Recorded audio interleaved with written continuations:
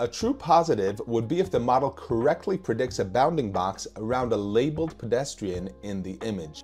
But there are two nuances that we need to clear up first. They are confidence and correctness. Let's start with confidence. First of all, machine learning models don't usually give you straight answers. They give something called confidence scores. You can think of this as numbers kind of between 0 and 1 that sort of say how confident the model is with its prediction. The model just never gave a straight answer. It would output things like 78% confident it's pedestrian, 31% confident it's a pedestrian, things like that. How do you turn this wishy-washy answer into a simple yes-no? For this, you need a confidence threshold, something like 80% or 50%, and you use this to compare the confidence of the model to this threshold.